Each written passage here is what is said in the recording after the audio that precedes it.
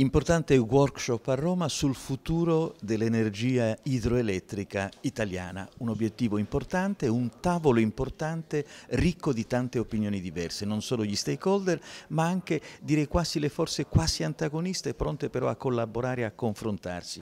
Paolo Taglioli, direttore generale, è questo il tavolo che avevate pensato quando avete organizzato eh, il vostro appuntamento?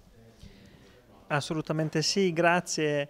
Ci troviamo in una fase in cui stiamo consultando la bozza del nuovo decreto FER, noi ci poniamo l'obiettivo di fare associazionismo e per farlo bisogna eh, adoperarsi con fatti concreti. Questo è l'unico tavolo eh, che fino ad oggi è, è stato fatto al quale hanno seduto rappresentanti di importantissime istituzioni di rilievo nazionale, pensiamo Lega Ambiente Nazionale, eh, eh, Federbim, eh, UNCEM, con questi soggetti noi abbiamo veramente aperto un confronto e siamo disponibili a produrre un documento da portare al legislatore, che a mio auspicio dovrà per forza di cose tenere in considerazione perché oggi veramente a questo tavolo era rappresentata una fetta importante del paese.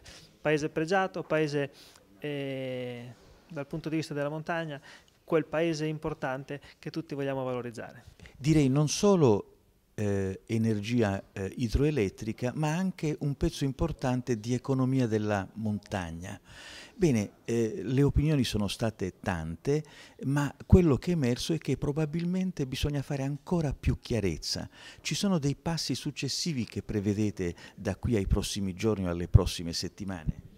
Certo, noi vogliamo continuare con un confronto costante con il legislatore e vogliamo che questo tavolo non sia un tavolo che si conclude oggi, ma che si riunisca periodicamente per potersi confrontare eh, su queste che sono tematiche veramente importanti per i nostri figli, perché qui si discute di sviluppo sostenibile, si discute di garantire un'area più pulita ai nostri figli, eh, si parla di una filiera, quella idroelettrica, eh, totalmente italiana, che eh, può far crescere il PIL più di ogni altra.